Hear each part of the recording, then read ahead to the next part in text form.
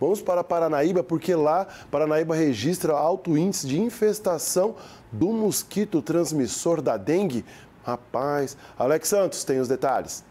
E Paranaíba registrou um alto índice de infestação de Aedes aegypti, conforme o LIRA, o levantamento rápido de índices para Aedes aegypti. O município manteve o um índice de 0,1% de infestação, classificado como alto risco epidemiológico. O Departamento de Endemias, por meio da Coordenadoria Municipal de Controle de Vetores, realizou o quinto ciclo de levantamento entre os dias 31 de agosto e 2 de setembro.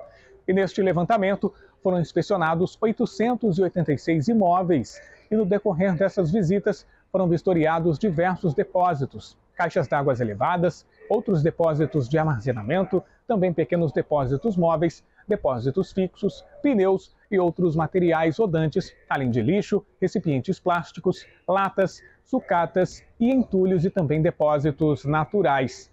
Segundo explicou o coordenador do controle de vetores, Fábio Rogério Guimarães de Freitas, o órgão intensificará visitas domiciliares, orientando também a população através da equipe de educação em saúde e visitas em pontos estratégicos feitas semanalmente por um agente específico.